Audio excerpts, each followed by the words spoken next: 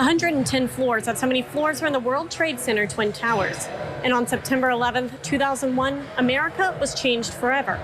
Now, hundreds of people out in Louisville are coming out to their local Crunch Fitnesses to do the 9 11 Stair Climb Challenge to honor first responders and those who paid the ultimate sacrifice by walking those 110 flights of stairs. just to show that we care.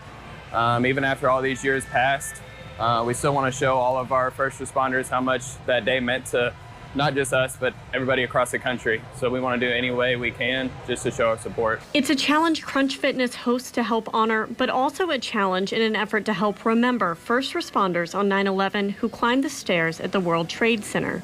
The total climb is 2,220 steps. you realize I, I couldn't have done it. I literally could not have done it.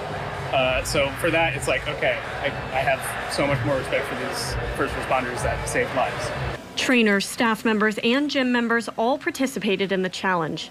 Some, like Neil Rao, who completed the challenge as a way to push themselves and honor those who lost their lives that day. The only thing that kept me going was like, there are people that were doing this with like a hundred pounds of gear on their back, completely sweaty, like in a disaster zone, like running for their lives and for other people's lives. For others like Gregory Willett, it's more personal. I did the stair climb challenge because to honor a 9/11 victim who passed away, Billy Minardi, who did finance work in New York City. I know his uh, wife and daughter.